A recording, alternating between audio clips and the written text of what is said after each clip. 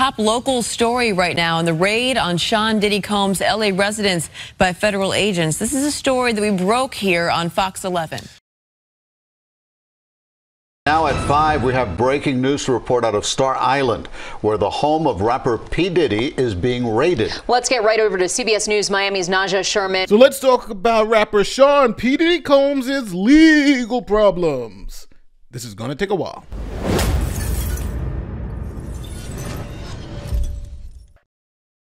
Okay, so this is Sean P. Diddy Combs, rapper, songwriter, producer, entrepreneur. This man here is a member of the Billion Dollar Club. Now, P. Diddy is connected all over the political spectrum, from Barack Obama. I want to say to you right now, while you're in front of me, sir, that right there makes sense. You know, I've been hearing a lot of bull today. I have been disenfranchised all day because I'm asking questions. They not answering my questions. This is how young people feel.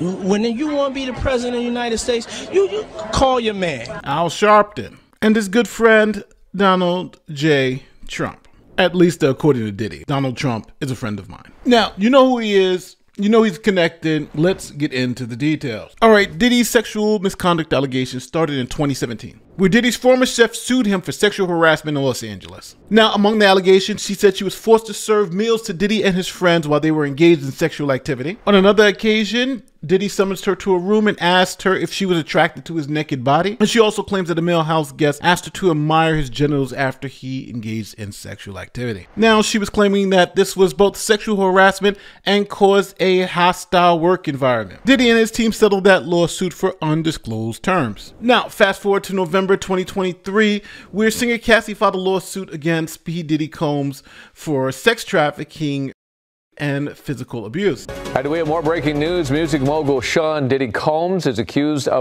a lawsuit by R&B singer Cassie claims that she was in a years-long relationship with Combs that also involved beatings. The singer claims Combs trapped her in a cycle of abuse, violence, and sex trafficking. The lawsuit claims Combs punched, kicked, and stomped on her, and it alleges Combs blew up a man's car after learning that he was romantically involved with Cassie, whose legal name is Cassandra Ventura.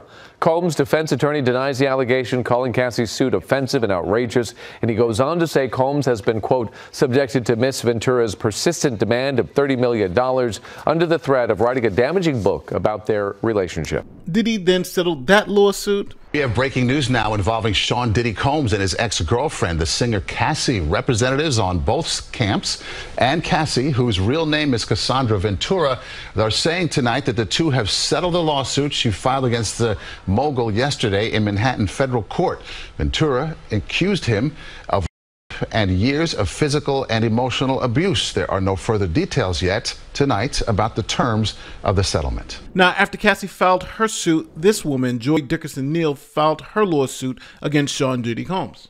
She claims that when she was 19 in 1991, she was drugged and brought to Diddy's home where she was sexually assaulted. She also claims that Diddy recorded the sexual assault and showed it to friends. Then, after that lawsuit, another woman filed a lawsuit under Jane Doe, where she claims that she was sexually assaulted by Combs when she was 17. In the lawsuit, she provides pictures of herself with P. Diddy Combs while she was 17 years old. Now, the 17 year old 11th grader was from Detroit and alleges that Combs flew her to New York where she was sex trafficked. Now, in another lawsuit, a woman says that she was sexually assaulted when she was 16 by Combs and singer Aaron Hall. Now, the woman claims that her and a friend were invited to Combs' home, accompanied by singer Aaron Hall. She claims at 16 they were given drinks and forced to sleep with both Combs and Hall. The lawsuits claim that both women were and Hall and Combs would switch between the two. Now, again, Combs denies all charges. Then we get to the mother of all lawsuits, filed by a man named Rodney Jones. Now, Rodney Jones is a former employee of Sean Combs and says he began work in August 2022.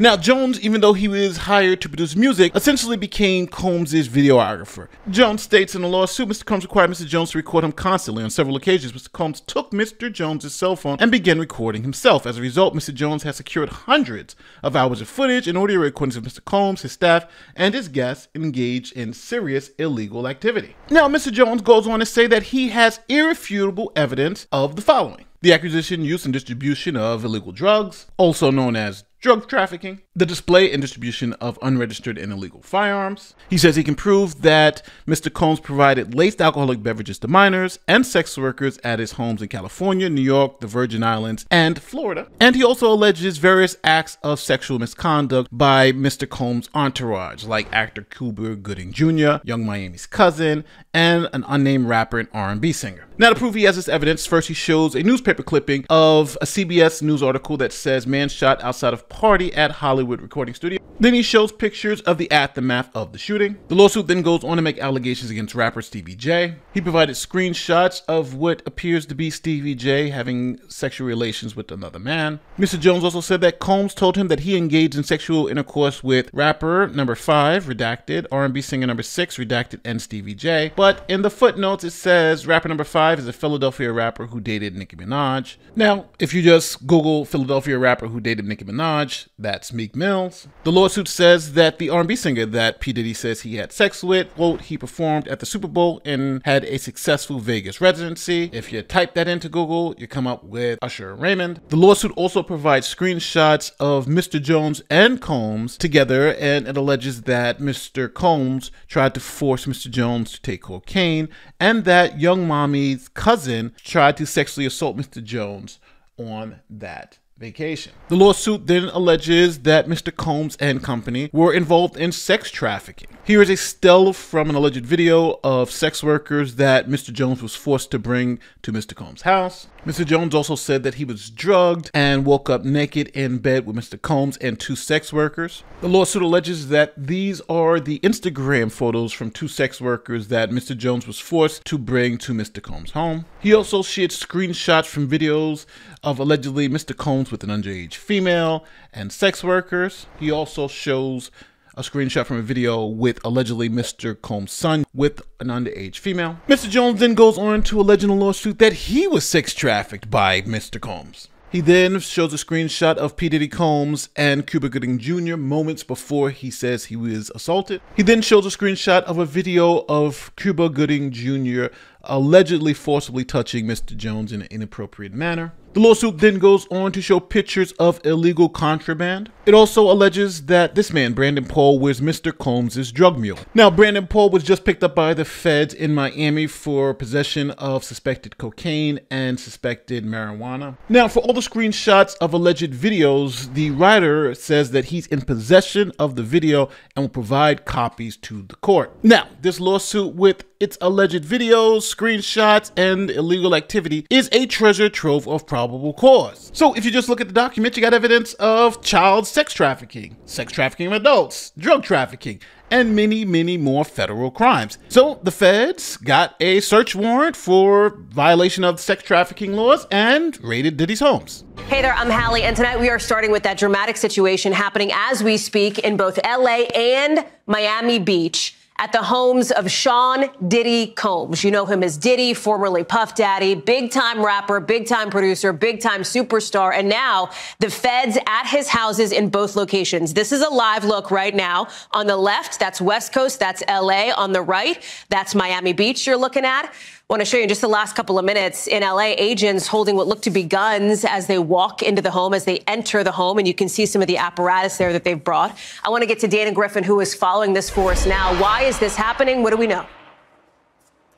Hallie, still, as you mentioned, this is a developing story, so we're learning new details minute by minute. NBC News has confirmed that this is a raid being conducted by Homeland Security and that the warrant specifically came out of the Southern District of New York. Now, we believe this is tied to sex trafficking allegations. There's an investigation into claims that he may have been, that the rapper may have been involved in this. So we believe this is connected to that. But obviously, what a split screen moment here to see investigations not only, not only in Miami, but also Los Angeles which shows that this was very coordinated and planned.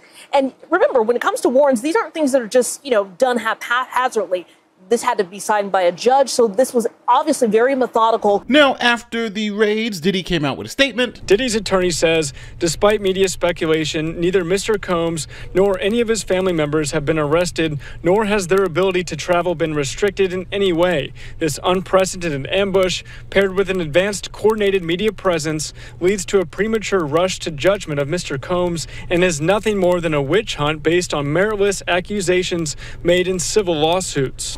In one of those lawsuits filed last month by music producer Rodney Lil Rod Jones against Diddy, it includes photos and accusations of sexual assault, sex trafficking, and drugging underage girls. Now, as always, tell me where I'm wrong in the comment section. Diddy has not been arrested and denies all charges, so we will see what happens with that. Let me know how you feel about this story. Do you think he's going to get arrested? Do you think he is in trouble? Remember, they've raided the house, no arrest as of yet. I'll keep it posted. Don't forget, like, subscribe, do all the good YouTube stuff. My name is Nate Lawyer, and I'm out. Peace.